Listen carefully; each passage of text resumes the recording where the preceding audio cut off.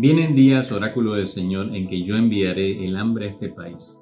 No hambre de pan ni sed de agua, sino de oír la palabra del Señor, decía el profeta Amos. Soy José Ángel López de Panamá y mi experiencia con la FEBIC ha sido bien gratificante. Pero todo, todo se inicia en el encuentro con una persona, Jesucristo, la palabra de Dios. Y es por esto que a partir de allí inicié un caminar en el seguir y conocer al Maestro con la ayuda de la Escuela de Pastoral Bíblica de la Arquidiócesis de Panamá. Esto me ha llevado a servir como evangelizador en diferentes comunidades en Panamá y más recientemente como facilitador de cursos y círculos bíblicos, formando pequeñas comunidades en torno a la palabra. Esto es testimonio vivo del poder transformador de la palabra de Dios en cada uno de nosotros.